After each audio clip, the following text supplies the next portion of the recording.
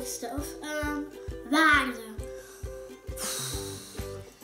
Vind maar eens een passende aanzet voor een nieuwjaarswens aan iedereen die dagelijks in de weer is voor een kwaliteitsvol stedelijk en gemeentelijk onderwijs. Dat is een haast onmogelijke opdracht.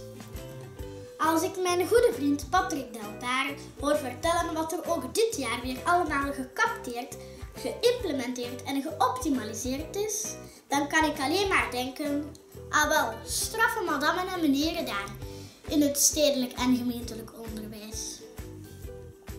Even terugblikken in de tijd leert me dat jullie vocabularium in 2017 uitgebreid is met spannende woorden als ondersteuningsnetwerk, omgevingsanalyse, curriculumdossier en dat jullie het DKO van de toekomst mee vormgaven.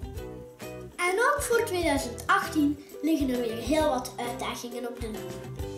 Ik wens jullie in naam van Patrick Delbaar en het hele OVSG-team een fantastisch 2018, waarin elke uitdaging wordt omgezet in een nieuwe kans. Want we willen toch allemaal bouwen aan een sterk stedelijk en gemeentelijk onderwijs, zeker?